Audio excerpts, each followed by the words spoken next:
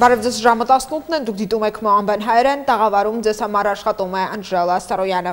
Վրաստանի խորհրդարանի նախագահը հանդիպել է ԱՄՆ միջազգային զարգացման գործակալության Վրաստանի գրասենյակի նորանշանակ տնօրեն Ջոն Փեներին։ Զրույցի ժամանակ անդրադարձել են տարիների ընթացքում ցուցաբերած աջակցությանը, ինչպես նաև Եվրամիության հանձնարարականների կատարման հարցում խորհրդարանի նախագահի առաջնահերթություններին ու Վրաստանի առաջընթացին։ Կողմերը քննարկել են Վրաստանի խորհրդարանի եւ ԱՄՆ միջազգային զարգացման գործակալության միջև հետագա համագործակցություն համագործակցության հնարավոր ուղությունները։ Հանդիպմանը մասնակցել է Վրաստանում Ամերիկայի Միացյալ Նահանգների դեսպան Քելլի Դեգնանը։ Լրագրողների հետ զրույցում ամերիկացի դիվանագետը շեշտը դրել է քաղաքացիական հասարակության դերի եւ կարեւորության վրա։ Նրա խոսքով երրորդ հատվածի նպատակն է վերհանել խնդրահարույց հարցերը եւ պաշտպանել հասարակության շահերը։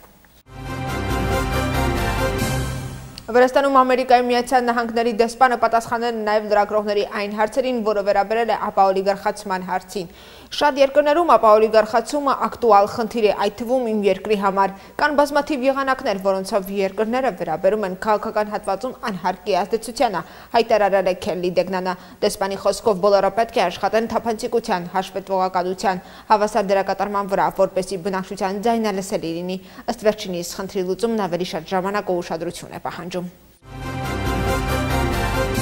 Ուղևորահոսքի ավելացմամբ պայմանավորված Ախմետելի թեատրի եւ Վարկեթիրի մետրոկայարանների մուտքերի մոտ կտեղադրվեն նոր լրացուցիչ անցակետեր։ Այս մասին քաղաքապետը հայտարարել է Թբիլիսիի կառավարության այսօրվա նիստում։ Կախակալձեն խոսել է տրանսպորտի հետ կապված խնդիրների մասին։ Նրա փոխանցմամբ հոկտեմբերի 3-ին մեկ օրվա ընթացքում հասարակական տրանսպորտից օգտվել է ռեկորդային թվով ուղևոր 1 միլիոն 35 հազար մարդ։ Հաշվի առնելով ստեղծված իրավիճակը նախատեսվում է իրականացնել որոշակի ենթակալվածքային ծրագրեր, այդ թվում մետրոկայարանները կհարմարեցվեն սահմանափակ կարողություններ ունեցող անձանց պահանջներին։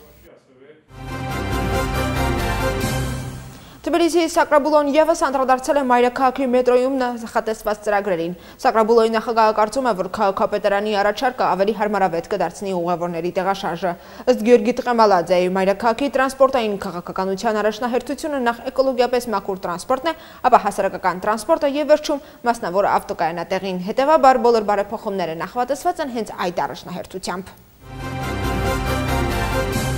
Պատժամիջոցները խստացվում են մեքենաների կողմից առաջացած աղմուկի եւ ճանապարհային երթևեկության ժամանակ թույլատրելի արագությունը գերազանցելու համար։ Խորհրդարանի Իլիա Գումանիստում այսօր քննարկվել է կառավարության նախաձեռնած օրենսդրական փաթեթը, որը նախատեսում է փոփոխություններ կատարել Վրաստանի վարչական իրավախախտումների օրենսգրքում եւ ճանապարհային երթևեկության մասին օրենքում։ Ըստ ներկայացված նախագծի, եթե տրանսպորտային միջոցի վարորդը գերազանցի 40 կմ/ժ-ից ավելի, ապա 150 լարի փոխարեն կտուգանվի 300 լարի չափով։ Ըստ այդմ տուգանքի չափն ավելանում է, եթե արագությունը գերազանցում արագության գերազանցումը հանգեցրել է վթարի։ Նշված պարագայում այն կկազմի 400 լարի, 300 լարի փոխարեն, իսկ եթե վնաս է պատճառվել արագության գերազանցումից, ապա տունգը կկազմի 600 լարի, 500 լարի փոխարեն։ Նախագծի համաձայն փոփոխությունները կվերաբերեն նաև ալկոհոլային ազդեցության ներքո տրանսպորտային միջոց վարելու համար նախապատասխանատվություն կրելու եւ այլ կանոնակարգերի վրա։ Զբոսաշրջության եւ ավիացիոն արդյունաբերության ընթացիկ տարվա հաշվետվության ներկայացում։ Տնտեսության նախարարի եւ նրա տեղակալի փոխանցմամբ զբոսաշրջության եւ ավիացիոն արդյունաբերությունը վերադառնում է 2019 թվականի ցուցանիշներին։ Հունվար-օգոստոս ամիսների տվյալներով Վրաստանը 1 միլիարդ ամերիկյան դոլար է ստացել միայն զբոսաշրջությունից։ 2019 թվականի համեմատ ավիացիոն ոլորտում գրանցվել է 100%-անոց աճ։ Նախարարությունը ակնկալում է, որ աճի միտումը կպահպանվի նաև հաջորդ տարի։ Նկանխատեսվում է, որ մինչև 2025 թվականը միջազգային ճանապարհորդական այցելությունը կավելանա մինչև 10 միլիոն։ Համաշխարհային բանկը 2022 թվականին Վրաստանի համախառն ներքին արդյունքի իրական աճի կանխատեսումը բարձրացել է մինչև 8.8%։ Սա ամենաբարձր ցուցանիշն է Եվրոպայի եւ Կենտրոնական Ասիայի տարածաշրջանում։ Համաշխարհային բանկի կանխատեսումների համաձայն 2022 թվականին Հարավային Կովկասում արտադրվող արտադրանքի ծավալը կավելանա 5.6%-ով։ Ըստ Սեկույցի տնտեսական աճը մեծապես պայմանավորված է ներքին պահանջարկի եւ դրամական փոխանցումների ավելացմամբ, ինչպես նաեւ զբոսաշրջությունից եւ դրամական փոխանցումներից ստացվող եկամուտներից եկամուտների ավելացմամբ։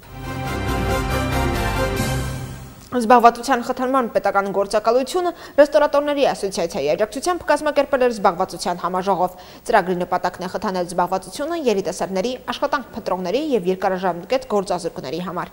Աշխատանք փնտրողները հնարավորություն են ունեցել ծանոթանալու ավելի քան 1000 թափուր աշխատատեղերի հետ եւ տեղում հարցազրույց հասնելու։ Նախագծից կարող են օգտվել նաեւ միջնակարգ կրթություն ունեցող անձինք։ Զբաղվածության համաժողովին մասնակցում էին միջին եւ խոշոր ընկերություններ։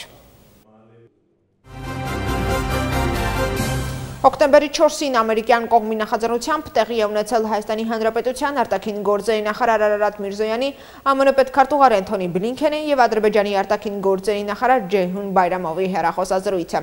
Կողմերն իրենց կարծիքներն են ներկայացրել հոկտեմբերի 2-ին Ժնևում կայացած հանդիպման վերաբերյալ։ Արարատ Միրզոյանը վերահաստատել է Հայաստանի Հանրապետության ինքնիշխան տարածքից ադրբեջանական զինված ուժերի դուրսբերման, Ադրբեջանում ապօրինաբար պահվող հայ ռազմագերների շուտապույտ հայրենադարձման ու հորադադարի ռեժիմի անվերապահ պահպանման անհրաժեշտությունը։ Շեշտվել է ուժի կամ ուժի կիրառման սպառնալիքի միջոցով խնդիրների կարգավորման անընդունելիությունը։ Նոր ագրեսիաների կանխարգելման համատեքստում ընդգծվել է սահմանային իրավիճակի մշտադիտարկման եւ վերահսկման միջազգային մեխանիզմների ներդրման կարևորությունը։ Հերախոսազանգի ընթացքում զրուցակիցները մտքեր են փոխանակել Հայաստան-Ադրբեջան խաղաղության պայմանագրի մշակման ու Ստեփանակերտի եւ Բաքվի միջև քննարկումների մեխանիզմի ստեղծման վերաբերյալ։ Պայմանավորվածություն է ձեռք բերել շարունակել քննարկումները ուղղված հարավային Կովկասում կայունության եւ անվտանգության հաստատմանը։ Ռուսաստանի նախագահ Վլադիմիր Պուտինը ստորագրել է Դոնեցկը եւ Լուգանսկը, ինչպես նաեւ Խերսոնի եւ Զապորոժիեի շրջանները Ռուսաստանի կազմում ընդգրկելու մասին դաշնային սահմանադրական օրենքները։ Այսպիսով Ռուսաստանի շրջանների թիվը 85-ից կհասնի 80-ի, իսկ երկրի տարածքը կավելանա մոտ 113000 քառակուսի կիլոմետրով։ 4 նոր սուբյեկտների բնակիչները Ռուսաստանի քաղաքացիություն կստանան երթնակալությունից հետո։ Դրանից ազատվում են անչափահասներն ու անգործունակները։ Այժմ Դոնեցկն ու Լուգանսկը եւ Խերսոնի ու Զապորոժիեի շրջանները սպասում են անցումային շրջանի, որը կտավի մինչև 2026 թվականը։ Այդ ընթացքում այնտեղ պետք է ստեղծվեն դատախազություններ, դատարաններ, նոտարական գրասենյակներ ու փաստաբանների պալատներ։ 4 նոր շրջաններն աստիճանաբար ընդգրկվում են գործող ռուսական ուժային կառույցներին։ Մինչև նավտարածներում ռուսական կանոնակարգերի ուժի մտնելը եւ մինչև անցումային շրջանի ավարտը տեղական իշխանությունները կարող են հիմնվել այն օրենքների վրա, որոնք գործում են տարածաշրջանում մինչև Ռուսաստանին միանալը։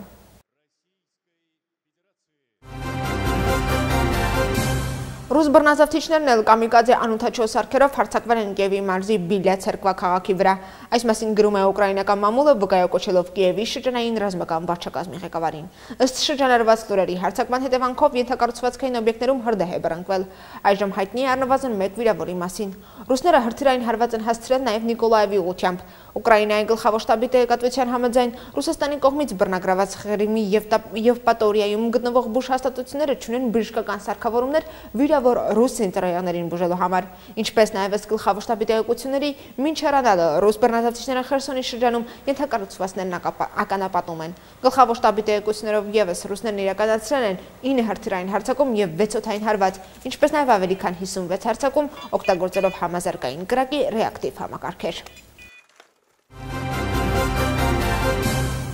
Ամերիկայի Միացյալ Նահանգները լրացուցիչ 625 միլիոն դոլարի ռազմական օգնություն կտրամադրեն Ուկրաինային։ Այս մասին հայտարարել է ԱՄՆ պետքարտուղար Անթոնի Բլինքենը։ Օգնության նոր փաթեթը ներառում է լրացուցիչ զենք, զինամթերք եւ տեխնիկա։ Պետքարտուղարի խոսքով Ամերիկան կշարունակի աջակցել Ուկրաինային այնքան ժամանակ, քանի դեռ կա դրա կարիքը։ Սրա հետ մեկտեղ կայացել է Ամերիկայի եւ Ուկրաինայի նախագաների հերախոսազրույցը։ Սպիտակ տան տարածած հաղորդագրության մեջ նշվում է, որ զրույցի գլխավոր նպատակն է ցույց տալ, որ Ամերիկան երբեք չի ճանաչի Ռուսաստանի կողմից Ուկրաինայի տարածքների անեքսիան։ Նախագահ Բայդենը նաև հաստատել է, որ Ամերիկան ապագայում պատրաստ է ծանր գին վճարել ցանկացած անձի կազմակերպության կամ երկրի, որը կճանաչի Ռուսաստանի կողմից Ուկրաինայի տարածքների անեքսիան, ասված է Սպիտական կողմից տարածած հաղորդագրության մեջ։ Եվ այս թվարկման վերջում Մակոմ Ռուսաստանի պատվիրակության ղեկավար Կոնստանտին Վորոնցովը հայտարարել է, որ Ամերիկայի ռազմական օգնությունն Ուկրաինային ընդլայնում է ռազմական անմիջական հակամարտության հավանականությունը։ Ամերիկան շարունակում է ավելի շատ զենք մատակարարել Ուկրաինային, ինչն ավելի հեշտացնում հակամարտությունում ամերիկացի զինծառայողների եւ խորհրդականների անմիջական ներգրավումը։ Սա ոչ միայն երկարաձգում է պատերազմը, այլև վտանգավոր սահմանի է հասցնում Ռուսաստանի ու ՆԱՏՕ-ի ուղիղ առճակատումը, ասել է Ռուսաստանի պատվիրակության ղեկավարը։ Որոնցում այս հայտարարությունն արել է այն բանից հետո, երբ հայտնի է դարձել, որ ԱՄՆ-ն լրացուցիչ ռազմական օգնություն է տրամադրելու Ուկրաինային։ Այժմ միամար այսքանը կհանդիպենք արդեն գլխավոր թվարկման ժամանակ ժամը 20.00-ին, եթե սրաժշտ եմ տալիս մինչ այդ ժամը։